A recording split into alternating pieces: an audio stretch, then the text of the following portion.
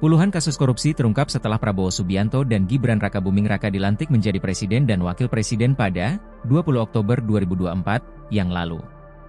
Kini, beredar sebuah video yang berisi peringatan Presiden Prabowo kepada para koruptor. Video tersebut diunggah oleh akun TikTok Partai Gerindra pada Rabu, 6 November 2024. Dalam video berdurasi 1 menit 30 detik tersebut, awalnya ada seorang pria yang teriak, bersih-bersih pak. Paham dengan maksud kata-kata tersebut, kepala negara langsung bereaksi.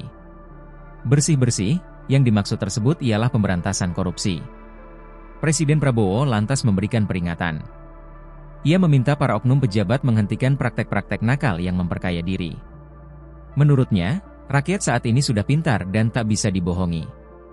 Apabila ada yang nekat korupsi, mereka pasti akan mendapat ganjarannya.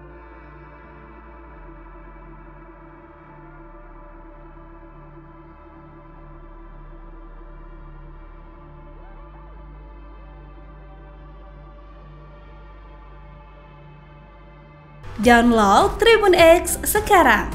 Menghadirkan lokal menjadi Indonesia.